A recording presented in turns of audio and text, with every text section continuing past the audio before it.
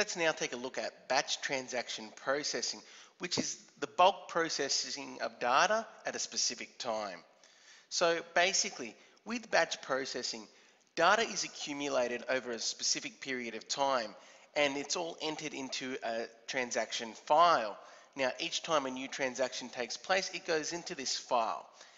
At a specific increment of time, whether it be daily, weekly, fortnightly, monthly, yearly, all this data in the transaction file will be processed and it is all processed in an automated system okay, that applies the same process to each individual record.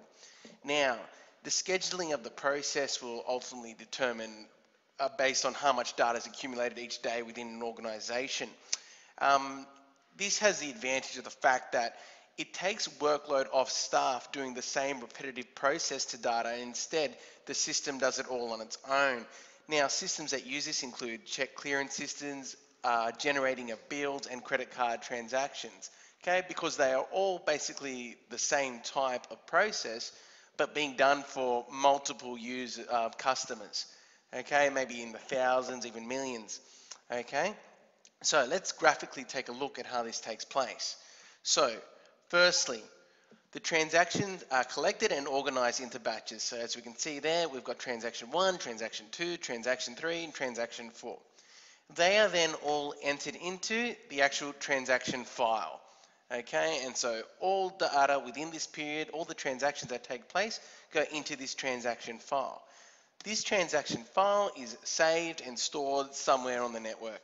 Okay, it can be saved either online, it can be saved on in whether it's in a database or in a cloud, some sort of storage if it's a wide corporation.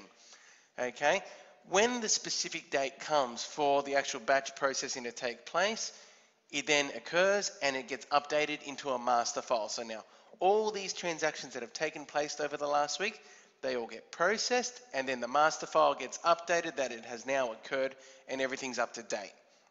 Okay, so looking at batch transaction processing, the advantages are there's reduced uh, costs because there is pretty much no participants involved. There may be someone managing the actual process, but it pretty much is the actual system taking care of itself.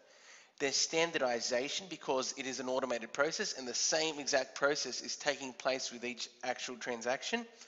And yes, decrease workload on participants because it would be a very repetitive task to do these transactions over and over and over again for a specific participant.